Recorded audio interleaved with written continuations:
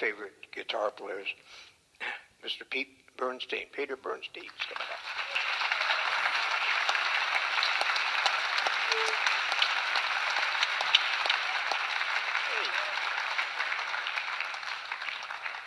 So, quick background thing. I I was teaching at the New School years ago, and I had an ensemble. I didn't teach guitar, but Pete was in the ensemble, and I would say to I said, Pete, you don't have to play that great all the time. It's just a class, you know. Anyway, we're going to. Uh, he just finished a great stint with Sonny Rollins, which wasn't bad either.